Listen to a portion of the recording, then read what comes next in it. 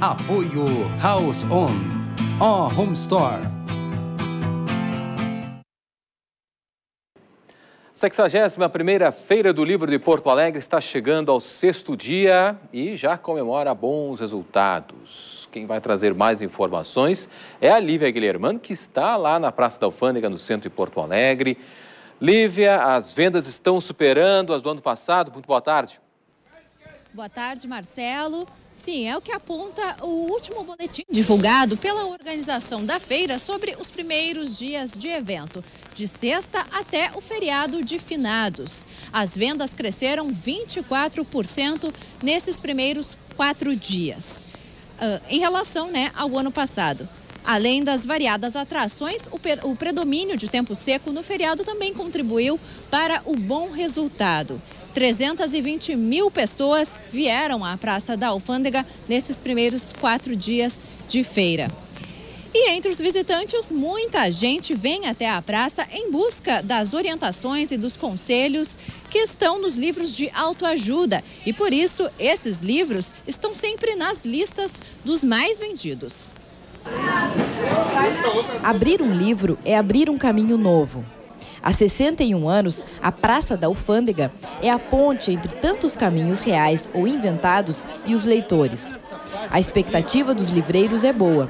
Segundo a Câmara Rio Grandense do Livro, apenas nos três primeiros dias de feira já foram comercializados mais de 80 mil livros. Entre tantos títulos e preços, os de autoajuda se destacam. Os livros de autoajuda estão sempre entre os mais vendidos da feira. Somente nesta banca aqui já foram vendidos mais de mil títulos do segmento. Esse tipo de literatura caiu no gosto popular por diversos motivos, mas o principal é a busca por orientação. A questão orientar profissionalmente até o uso para uma questão de leitura até é, para relaxamento até, juntar o útil ao agradável.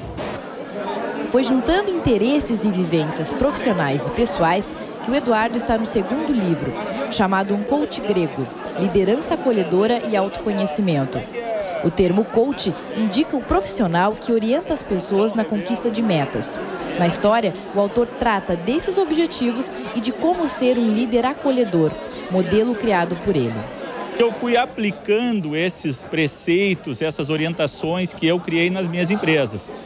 Então, a liderança acolhedora é, basicamente é quando a pessoa se sente é, recebido, protegido, abrigado, ele vai ter um desenvolvimento, ele vai, a partir daquele momento, ele vai buscar e vai se doar mais para as empresas. Então, dentro dessas premissas, desses princípios, que é, eu acolhendo o colaborador, ele vai é, se tornar muito mais produtivo.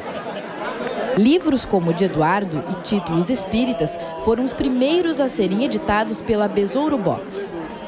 É significativa a, a porcentagem de vendas né, nessa, nessa linha espiritualista e nós confiamos nessa linha aí, tanto acreditamos, é uma nossa filosofia também, né?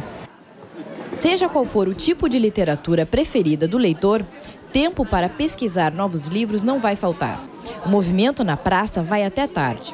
Nesta quarta, 24 autores vão participar de sessões de autógrafos até às 9 horas da noite. Apoio House On, a Home Store. Aqui na Praça da Alfândega, muita gente já está passeando, olhando os estandes, é claro, comprando livros e conversando com os livreiros. As barracas abriram há pouco, ao meio-dia e 30, e já há bastante movimento. A área infantil é que já está aberta há mais tempo. Ela funciona das nove e meia da manhã até às nove da noite. Lembrando que aos sábados, as atividades tanto da área infantil quanto da área geral iniciam às 10 horas da manhã. O tempo por aqui está encoberto, não chove nesse momento, mas em caso de chuva, as áreas onde ficam os estandes são cobertas. Bom, e aqui em Porto Alegre, na Feira do Livro, a programação é intensa e bastante diversificada. Entre os destaques de hoje, daqui a pouco, às duas da tarde, o escritor Ayrton Ortiz apresenta seus relatos de viagem em Nova York, nos Estados Unidos. Vai ser na Sala Leste do Santander Cultural.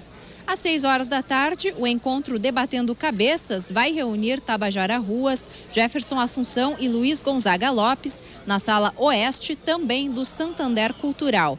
E às 8 horas da noite tem Sarau Elétrico sobre Shakespeare, Nelson Rodrigues e outros grandes nomes no Teatro Carlos Urbim. Então, a programação está cheia. Quem quiser é só vir aqui até a Praça da Alfândega para experimentar das mais diversas maneiras a literatura. Mais informações, então, durante a programação da TVE, no segunda edição, às sete e meia da noite. E nós voltamos amanhã aqui no canal aberto, a partir da uma da tarde.